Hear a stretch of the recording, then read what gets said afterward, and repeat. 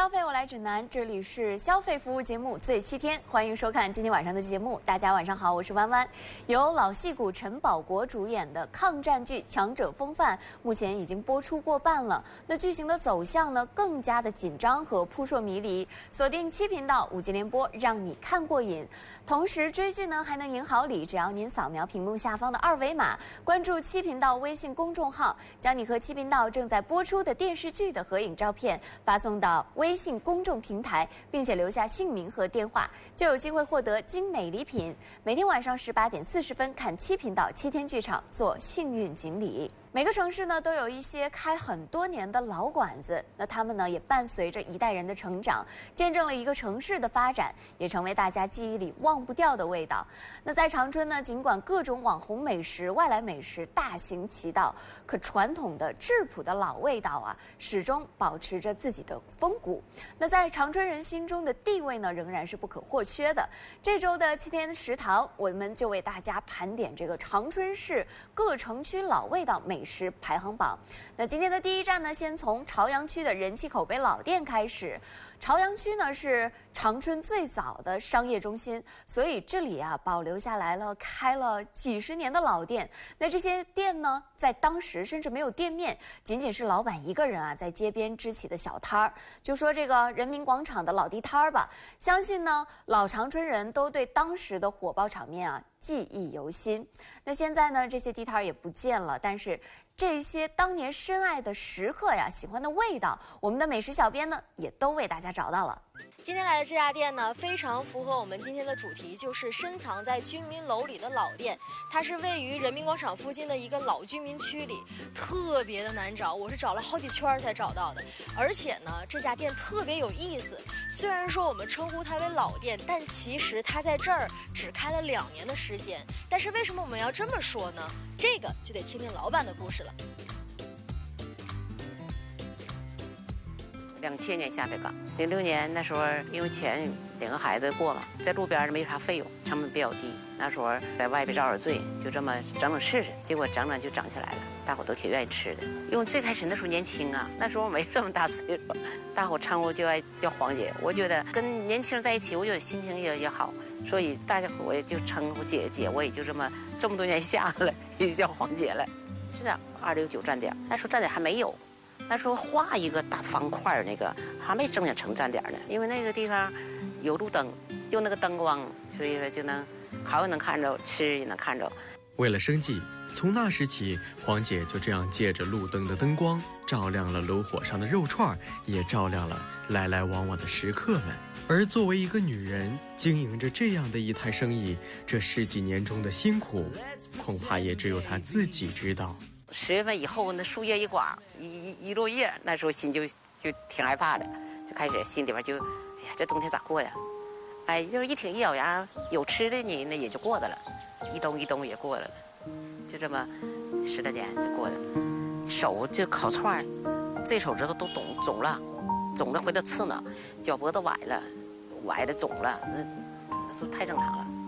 那我也在一直在坚持，我就想，我要干，我就坚持到底。那你顾客来了，你找不着你，他心里不得劲儿。那最开始出没有多少人吃，我最我最少的卖过一百多串，点一点的，谁吃了谁都不走。我就这么多年把这客攒下来。冬去春来，直到二零一七年，为了配合长春创建全国文明城市的脚步，黄姐毅然决然地放弃了自己烧烤摊的生意。可十多年来积攒下的老食客们却有着他们自己的想法。那时候休息，我们挺高兴。在家休息一段时间，歇了三三个来月。顾客吧，他着急吃，他说咋整啊？我们想吃，那怎么整啊？这那你也吃不上，能不能在家给我们整点吃啊？就这么的临时决定，说给家先整这么点吃，咋尝尝？给家整吧，要不一一直是 吃不上，挺馋的。这么临时给家决定走，其实我就给家说白了就是打这回头客。我把那想吃的，我给他发个电，打个电话，发个微信，有知道的，有不知道的，因为。我也没留电话，他们也没留，特别那十多年老顾客，所以都不留电话，结果这么就找不着了，很多人找不到。老板用美食成全顾客的故事，天天都在发生，而像这样被多年的老顾客逼着重新开张的故事，我们却不常听说。而黄姐为了回报这些多年的朋友，也让菜单上的价格始终保持多年前的样子，没有变过。我们来到店里的时间是下午四点半，黄姐串店也迎来了今天的第一桌客人。来，你们是头一次来吗？嗯。你们才第一次来，没人介绍你来了？有啊。昨天发朋友圈，完我今天就来了。啊，就啊，发圈。楼上邻居来的。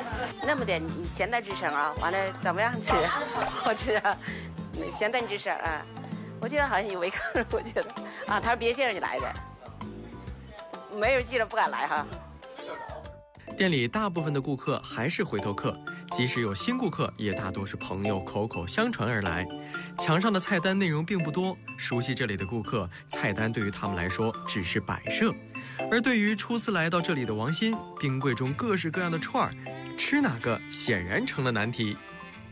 看你先吃什么呗，吃香的肉，香的肯定得有。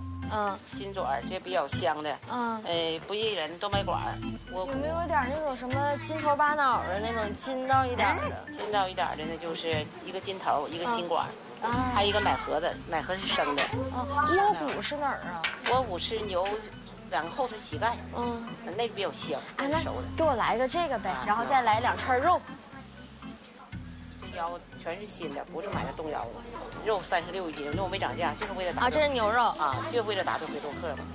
这是新嘴，心嘴这个特别好吃。这女孩这小孩她不肥呀，她愿意吃。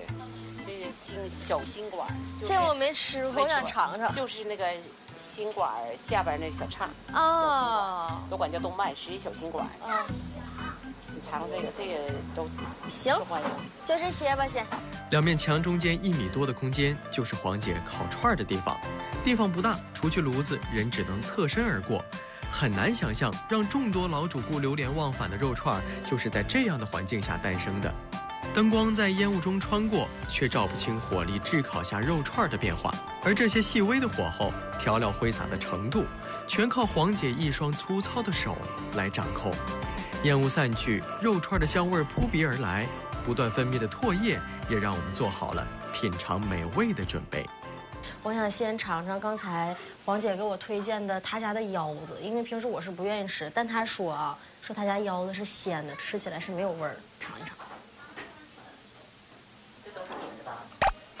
这个腰子我真是一点都不撒谎，它真的没有我们想象中的那种吃腰子那种异味儿。你只能吃到它那个有一点点肉的那种香味儿，然后再加上撒的那些孜然辣椒面的味道，一点异味都没有。而且它这个腰子是吃起来很嫩的，我感觉吃起来有点像干儿的那种口感，但还没有干儿那么绵软。嗯，这小肉串太可以了，瞬间让我想到就是那种小的时候跟爸爸妈妈站在路边儿。冬天瑟瑟发抖，拿着小竹签子撸肉串的感觉，就是那个味儿，肉很嫩，而且没有任何就是其他的味道，就是很传统的辣椒面和孜然还有盐的味道。但是你吃进去就是特别香，包括它那个肥油也一点都不腻人，它是更加的把这个肉串整体的香味儿给提上来了。每个人都会和美食有相关联的记忆，或远或近。而只要再次品尝到曾经的味道，脑海中的回忆也会瞬间定位在那个时间点，从而让你回溯起那一刻的人和事，还有那些人和事带给你的笑和泪。想必这也是那些老食客们放不下黄姐烤的肉串的原因之一吧。其实黄姐当年在外面摆摊的时候，还有两样小吃，就是鸡汤豆腐串，还有炒粉儿。但是呢，当时她就是忙活不太过来了，所以就把这两样呢包给别人了。在这块开这个店的时候，她又把这两样小吃重新的做回来了。就吃完这些肉串，我现在真的是非常非常期待那两样小吃的味道。我就想肉串弄得好吃，炒豆腐串呢也必须好吃。肉串呢，怀孕的孩子都可以吃，炒豆腐串也是干净卫生。而且都能吃，我尝试了得有一年，有一年半。一年半的时间，这两样小吃在黄姐手上有了不同的样子。生豆油和淀粉块会碰撞出诱人的金黄色，但豆腥味儿却让很多人皱眉。用熟豆油来炒制，颜色透明，看起来平淡无奇，但舍去卖相的同时，却得到了味道的还原。同样另辟蹊径的就是鸡汤豆腐串，一样的鸡汤，一样的干豆腐，在鸡汤中煮熟后捞出备用，等待顾客点菜时重新下锅，舍去了大锅炖煮随点随取的方便，而得到的却是干豆腐的豆香和不失韧性的嚼劲儿。这些舍与得是为了更好的味道的呈现。可对于黄姐来说，她自己的舍与得有时却是迫于无奈。顾客说的。你能不能开一个大点的店？说我们嗯好找的地方，我也说，我说我要是嗯年轻一些，可能今年毕竟六十六了都是吧，岁数大了，你再开个大店呢，你还得支吧呢，我也没那大能力，没那精力。时间的力量总是在一点一滴的释放，带走了人们年轻的活力和对未来的幻想。我们不知道黄姐的烧烤店还能开多久。还有多少人能够在这里品尝烧烤、把酒言欢？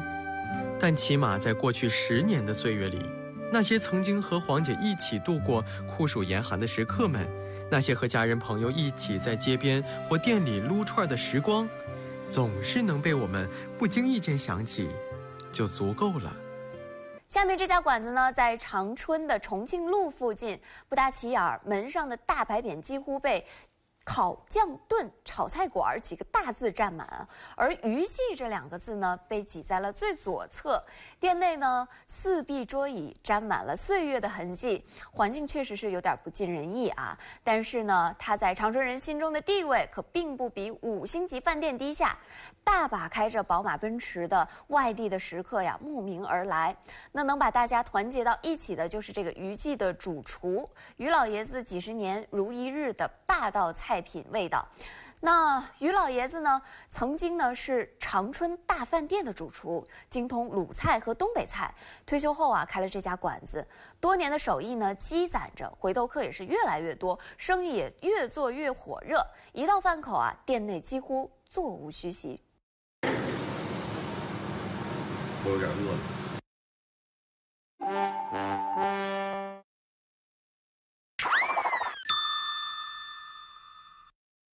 妥，就这家了。走啊，强哥，一起吃个饭呢。北安路鱼记酱烤炖菜馆，二十多年老店，据说是长春饭店退休的老厨师掌勺，有老长春们最爱的传统味道。而最近频繁出现在抖音里，成了半个网红小店网友们的点评却是褒贬不一。所以味道如何呢？还得摇上我的小伙伴一块儿尝尝去。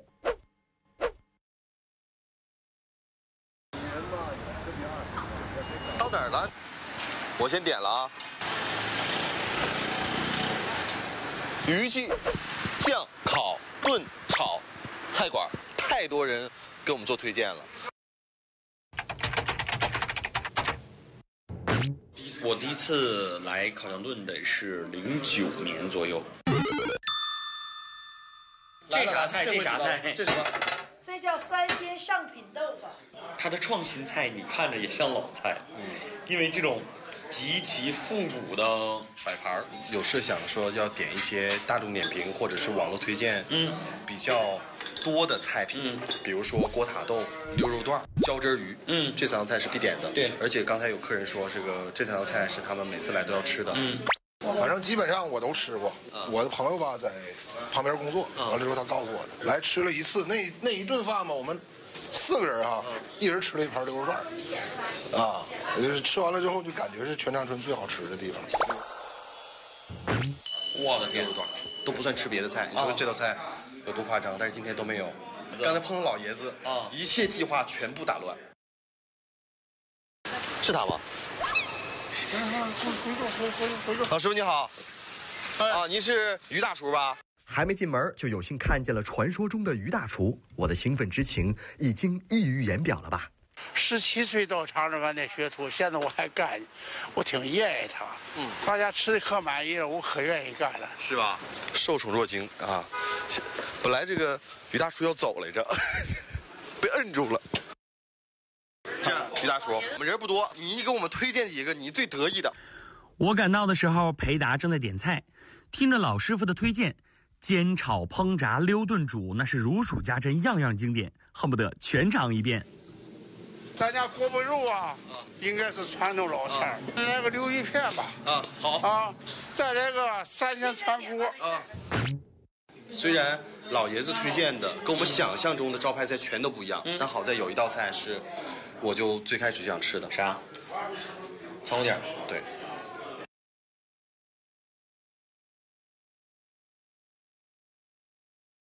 有切的片儿比较厚的羊肉，有栗花，这是猪肉，有干虾仁、螃蟹，但都调味用的。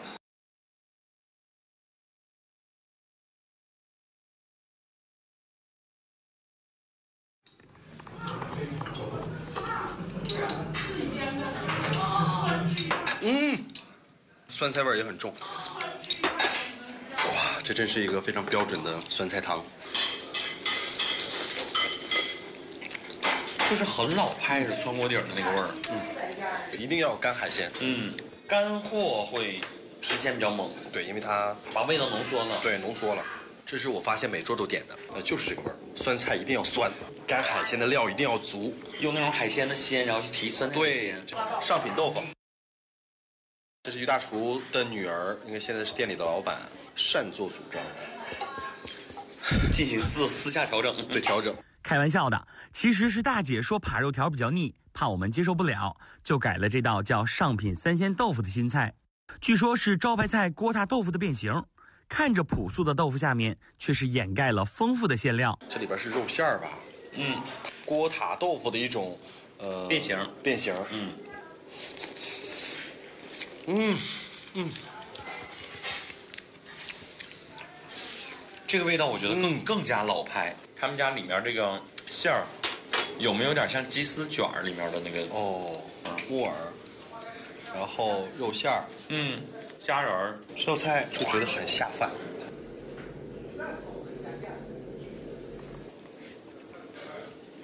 于大厨推荐的第一道菜，嗯，就是锅包肉。锅包肉一入口我就有点懵了，这也太脆了。一咬崩渣的酥脆口感，实在跟我们印象中的锅包肉有所区别，不禁让我产生是不是用了起酥粉的错觉。就是玉米淀粉和那个和那个那个什么白面，但是比例有时候它在于火候菜。这汁儿相对稀一点，挂不住，味道是可以的，嗯，我觉得也可以的。当你吃惯了长春现在流行的那种粘汁锅包肉之后，你再看这种锅包肉，会觉得说有点怪。又闻起来冲，很酸，吃起来又很甜，又很脆，里边的肉呢又很嫩。这是小时候我们对这道菜简直是一道神菜，对东北人最喜欢的一道菜。对，但是每家每个厨师，他都不一样。与其说你喜欢吃哪个地域的锅包肉，倒不如说你喜欢吃哪个厨子做的锅包肉。嗯，好不好吃还得大家来吃。我是老长春呐，今年七十五岁了，味道都是老味道，可能是现在的年轻人不太知道这个老味道。我们一般的都特别喜欢，里头没有任何添加剂。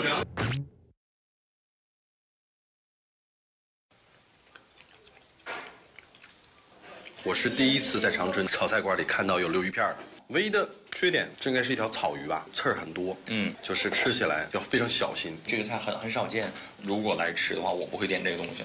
吃过那么多溜肥肠，难得有机会能吃溜鱼片如此清爽的溜鱼的肉，可比猪肉要滑得多呀。对对对对，你配上它这个调口比较适中，这样溜鱼片我是非常推荐的，好吃。菜挺特色的，没见过有的都，感觉哪样都挺好吃的，啊，就是每样都尝尝，来一次换一次菜。我们总来，很早就非常了解这老爷子，他曾经跟这个周总理吧访问过日本，中国特级厨师，他的菜的味儿都是原始的东西。我终于找到一家可以推荐给我的外地朋友的长春味道，煎炒烹炸溜，呃炖焖你都能找得到。另外是每样菜味道都不走样。很老派的传统味道，嗯，但是我也真的希望说，很多人可以到这尝一尝，找一找长春纯粹的味道。因为很多人把它标榜成了网红店，所以很多人说我要打卡这个网红店，那么多人去吃，到底好不好吃？千万别抱着惊喜的这样的一个想法，它就是纯粹的一个长春饭店，可能得不到惊喜，但是能让你好好的吃一顿饱饭，而且就是老长春的味道。整体推荐指数四星半，推荐菜品三鲜川锅、滑溜鱼片。小店不大，但菜式讲究，老派长春菜馆。网友推荐锅塌豆腐、锅包肉、浇汁儿鱼，炸两样。在长春呢，还有一个王记酱骨头，更是历史悠久。一段时间不吃，就想的不行。那我每次去呢，即使是中午也得等位。那他们家的酱骨头味道十足，酱汁完全渗入到肉里面，脊骨肉多，棒骨汁浓，特别够味儿。虽然呢都是家常菜，可是，在王记吃啊，味道就是正宗醇厚。啊，能吃出这种小时候的味道，老字号、老味道，在舌尖更在心头。今天节目开始，我就手握巨款。那在这种网络支付如此便捷的时代，今天我们却要去一个只接现金的一个饭店。这个店就是王记酱骨头，也是我们城市必吃榜的最后一站。那这个店呢，在长春也是多年老店了。然后店里凭借酱骨头这样一款食物，赢得了各个年龄层朋友们的喜欢。同时呢，也是一个比较有个性的店。那今天我们就一探究竟，看看王记酱骨头到底好不好吃。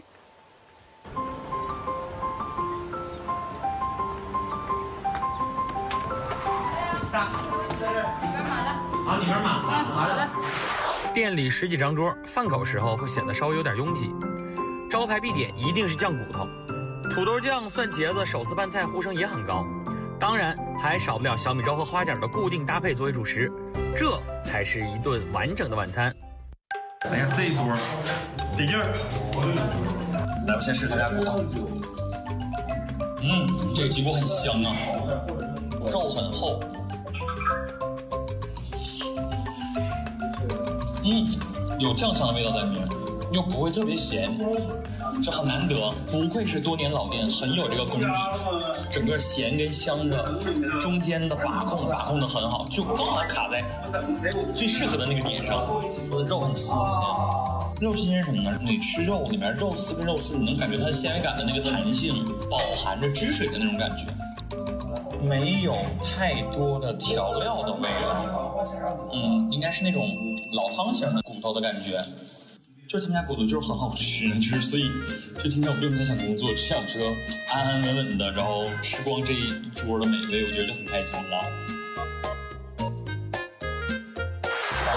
这个饭我拿起来之后感觉沉甸甸的，上面呃筋头巴脑的部分和下面饱满的骨髓，让人一看就觉得食指大动，肉很厚啊，越嚼越香，既有筋的口感，又有。一些脂肪的这个油脂在嘴里分泌，跟这种大的肉糊型的瘦肉块在一起，一口下去，感觉人生已经到达了巅峰。这个骨头里面是有点点甜，但这个甜呢，隐隐的能把肉的鲜味提出来的那种甜。这个口味把控的细致度非常高。嗯嗯，哇，这玩意儿筋呢。骨髓啊，老香了，先捣碎，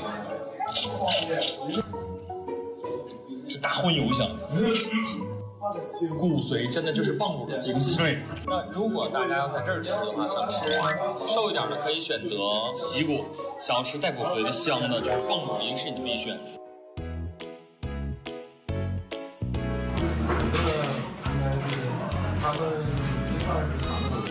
看着感觉就是很家常，因为撒了很多的香葱圈和香菜碎。这一碗土豆酱好像是用到的骨汤，有淡淡的肉香，然后里面又没有肉末，没有那么多的调料，就是很基础、很家常，跟小时候我奶做的那口味很像。咱现在把这个这个哇，送一下午有人吗？的。嗯，就是往水上的光，他俩吧。这个店的东西呢，整个拿上来之后，你真的不会觉得说它很像一个饭店出品，就很像小时候家里的一桌菜，没有丰富的调料，没有太多炫技的手法，给你呈现出贴服肠胃的温馨晚餐吧，也让你吃到一种家的感觉。那为什么能上必吃榜呢？我觉得味道是一方面，再一个就是有好多年头了，在很多人来说。这个店也是它的情怀，市井小店没有惊艳味道，却是跟要好的朋友吃顿简单却可口的家常饭的好地方。酱骨头值得一试。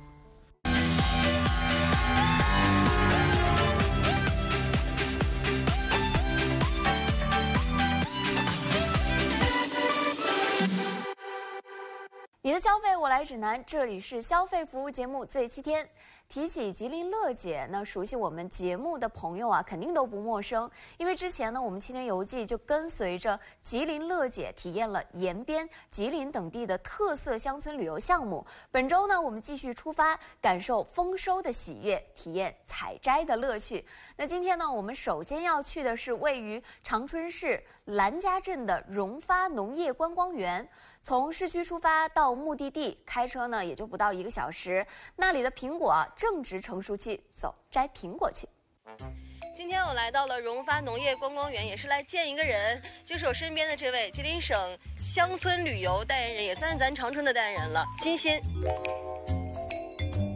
今天带着大家来我们的荣发农业观光园呢，主要也是因为它是我们集很多的功能于一身的这样一个综合园区，嗯，包括一些生态果蔬的采摘，然后有机蔬菜等等的这样多功能于一体的农业观光园。刚才听您说了那么多，有什么好玩的，想让您带我去看一看？好的，因为您是第一次来，那我就带你一直到我们的整个园区规划图那去看一看。好，嗯，好。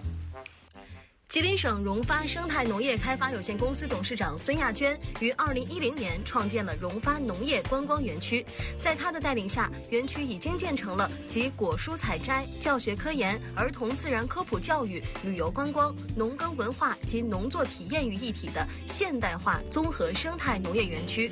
作为女性企业家，多年的奋斗和努力，也让她收获了许许多多的殊荣，也让荣发农业观光园成为了长春人民假日休闲的优质选择。整个园区的话呢，占地是四十万平米啊，四十万对，有温室大棚七十多栋，所以的话，整体来说还是比较壮观的，面积也非常的大。嗯嗯，这边的话呢，就是我们整个园区的规划图。这位是就是我们荣发农业观光园的副总。啊，你好，你好，你好，姐。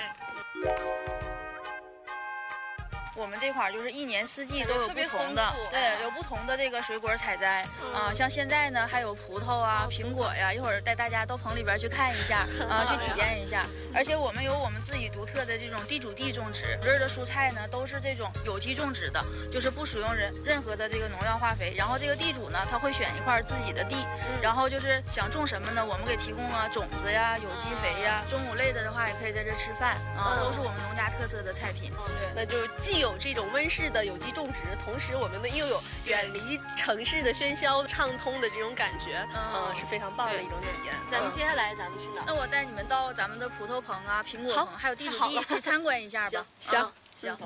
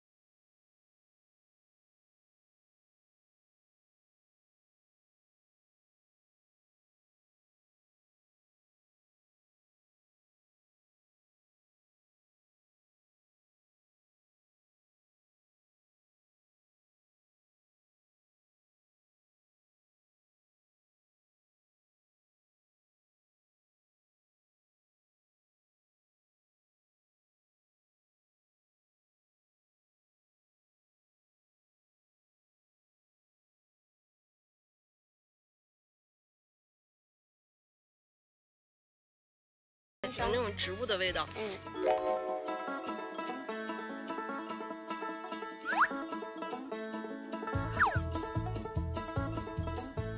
姐，这边的话呢，就是咱们农场比较有特色的地主地啊，就人人都能当地主的那块地。对对对，你看这一片一片的，啊，这两个砖马的，对，这中间就是一家的地啊，一家那是多大呀？这是十平方。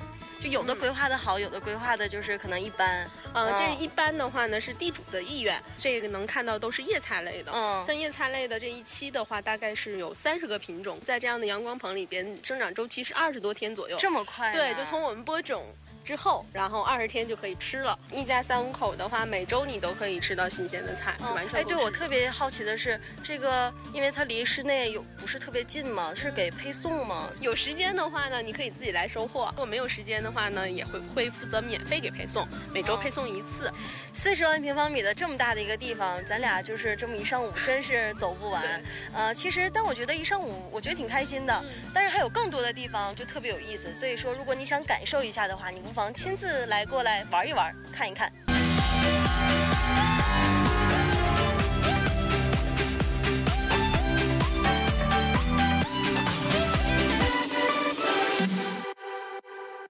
你的消费我来指南，这里是消费服务节目最七天。接下来看这里，了解一下跟您有关、您必须关注的生活资讯。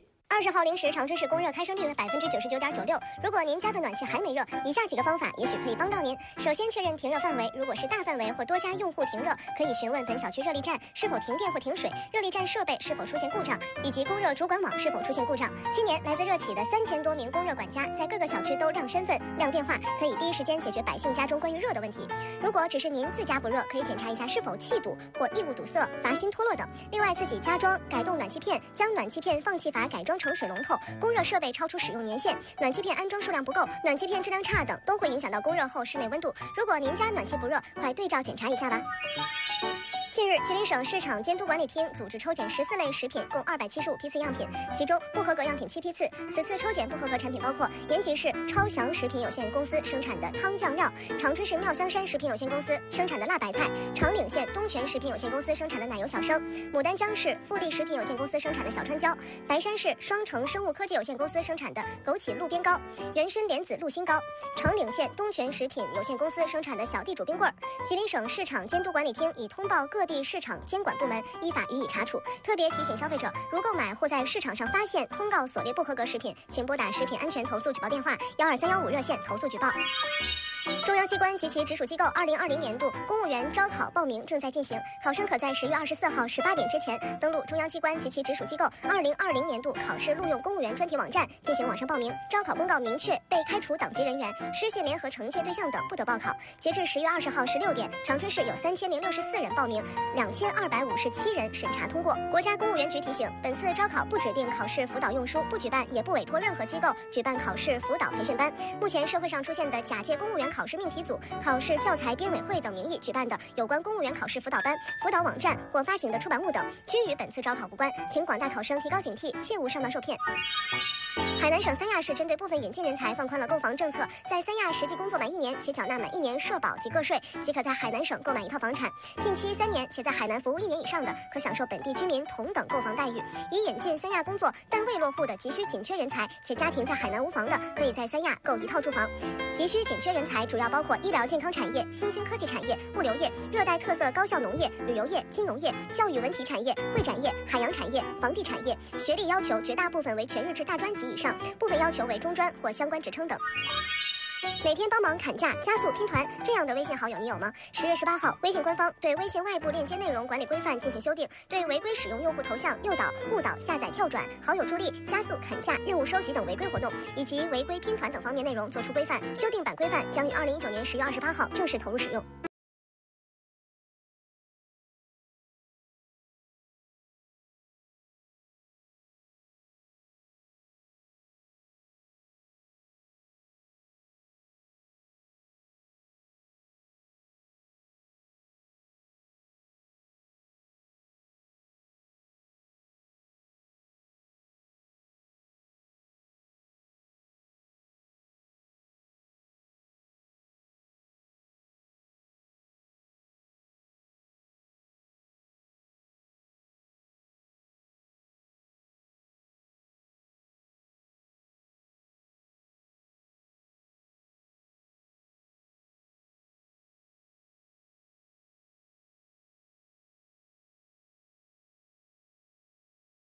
播的电视剧《强者风范》将无缝登场，五集连播，让你一次看过瘾。只要扫描屏幕下方的二维码，关注七频道的微信公众号，将你和正在播出的电视剧的合影照片发送到吉林电视七频道微信公众平台，并且留下姓名和电话。你新生活，您的消费我来指南。明天同一时间，这七天和你不见不散。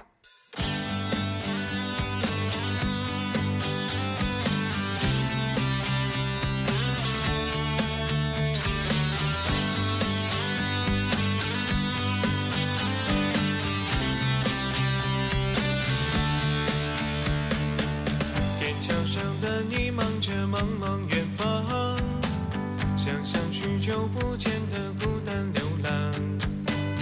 公路消失的尽头，留下你的方向。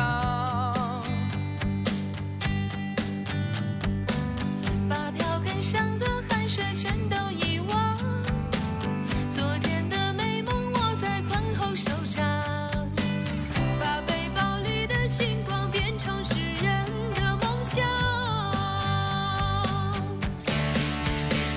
这一